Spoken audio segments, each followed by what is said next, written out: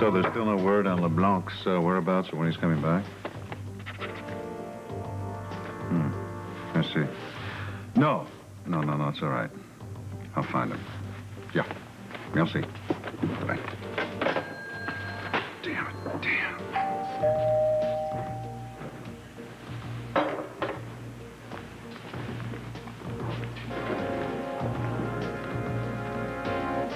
Who is it?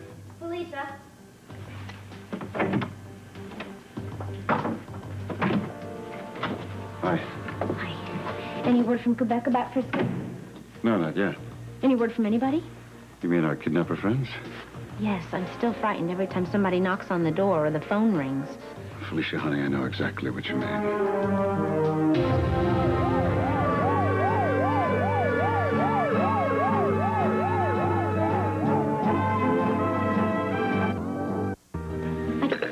Knives placed on the table and all of them pointing at me. Felicia, honey, I explained all that to you. I know, but I can still feel that slashing on my face. It felt like it went right through the bone. It was awful. Princess, it was just a trick to get you to talk.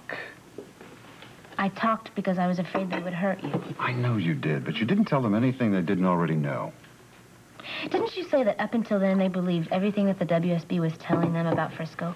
Yeah, I know what I said, but now... I- What?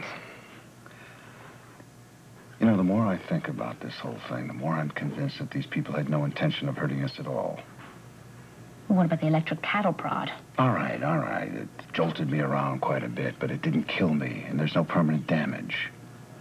So what are you thinking? What I'm thinking is, if these people were really a faction of the terrorist group that the WSB states has even infiltrated Canada, they wouldn't have been so kind. You'd be walking around today with a scar on your face. Who do you think they are? I'm not sure. Well, maybe it could be some group of people that help terrorists in the United States. Maybe. Could be.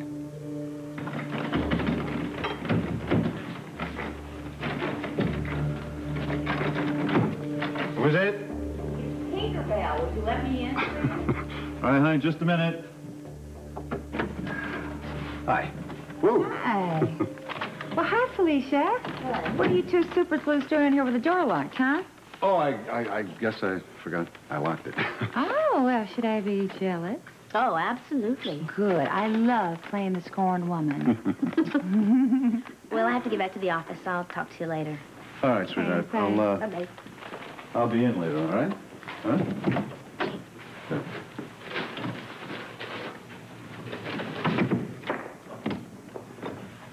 Pretty lucky guy to have two beautiful women drop in on me so early in the morning. yeah, and locking the door behind both of them. Oh, that, I, uh, I guess it's just old habits. Is everything all right? Oh, everything's fine. Now that you're here.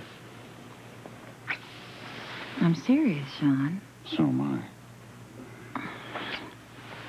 How's our wedding coming along, huh? It isn't. What do you mean it isn't? Think that maybe we should postpone the marriage just a little bit. Hmm. I thought you said you wanted to be a June bride. I do want to be a June bride. I do. Everything is just so complicated right now. I'm, ne- I'm not ready for it. I didn't know when Cheryl would be back. She could go into kidney failure anytime. She needs to go into dialysis. She may even need a transplant. And then we get off on this honeymoon, you know. Uh, you know, just to be us. I mean, she may need me. You mean she might need your kidney, right? Oh, I do owe her that.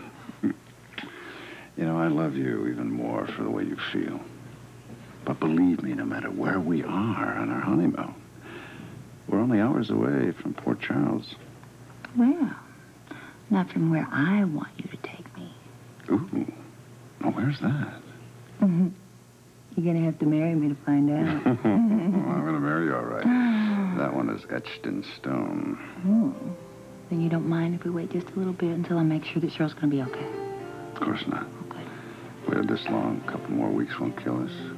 Ooh, but it could hurt. Ooh, yeah. I want to make sure she's okay. She's a healthy maid of honor. Yeah. Yeah, and with Robert being my best man, those two will be doomed to connubial bliss right after us. Mm-hmm. Oh, I love you. I love you too, Mrs. Donnelly.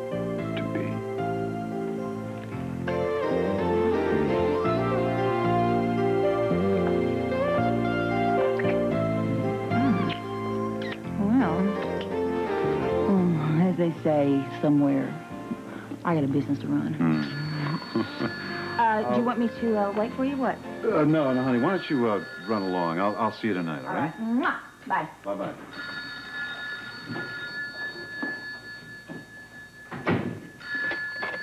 Donnelly. Sean, it's Felicia. Yeah, I was just on my way down the office. What's up? I'm sorry to bother you right now, but I thought maybe you heard something from Canada about Frisco. No, Princess, I'm sorry, not yet. Um, before I forget, when I was being interrogated right after the routine with the ice, I was all worked up. But then I thought I heard a woman's voice in that group. That's interesting. Do you remember it was a woman who called me that same day and warned us to keep quiet about everything? Yeah, yeah, I remember. Um, Princess, do me a favor. Hold on the fort for a while, huh? I'll be in touch.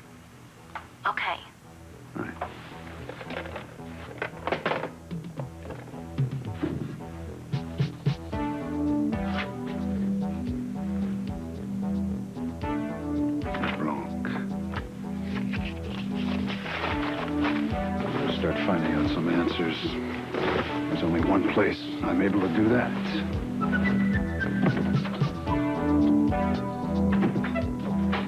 Hi. Hi. You busy? I'm not interrupting No, no, anything. no, I'm glad you're here. I was just thinking about you. Would you like some coffee? No, no, thanks. Uh, you were just thinking about me? I was. It seems very quiet in here. Empty, kind of. It is. Anna's not going to be in today, and Sean just told me to hold down the fort. So you're all alone. All alone and lonely. Sounds like a song. Yeah, it does.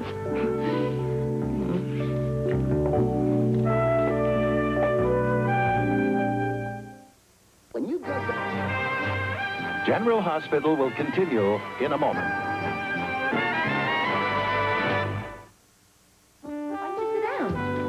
Thanks.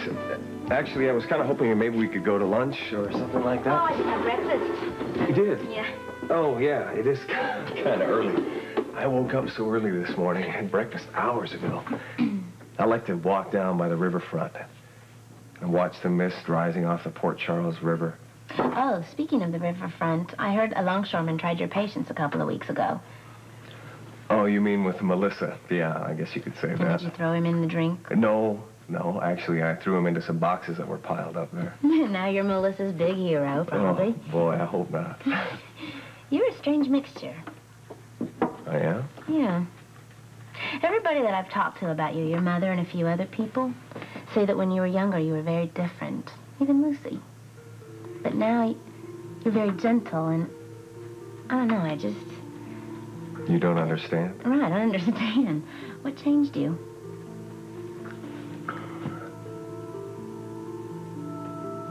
It was like, like a blinding flash of light. And then I woke up.